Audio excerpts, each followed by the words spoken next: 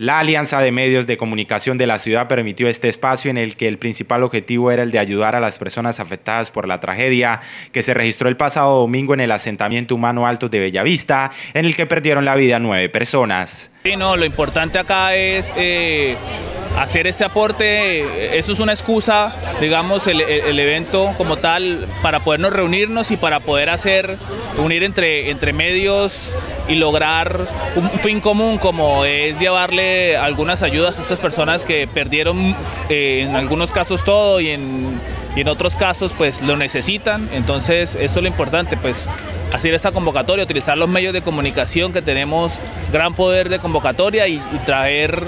y hacer que la gente se manifieste y pueda traer ayudas a, a esta comunidad. Hemos visto a lo largo de todos los días manifestaciones de solidaridad de, todo, de todos los ciudadanos, de barranqueños, pues, en los barrios, en las juntas de acciones comunales y por supuesto los medios de comunicación no nos podemos quedar atrás, no solamente informando, sino también actuando y en, este, en esta oportunidad pues el hecho de estar juntos y de hacer un llamado general a la comunidad pues es parte de nuestra labor también como medios. Entonces estamos aquí muy agradecidos, especialmente con los medios y pues sobre todo con la Cruz Roja que ha hecho un trabajo excepcional. 100 mil pesos en útiles de aseo y mercado no perecedero cambio de una camisa para participar en un partido solidario fue la estrategia realizada para obtener las ayudas. Sí, la invitación es a que toda la gente barranqueña apoye esa noble causa, apoye a nuestros hermanos barranqueños necesitados, los que tienen problemas hoy por ti, mañana por mí y nosotros eh, en el Centro Médico Familias quisimos vincularnos a esta noble causa,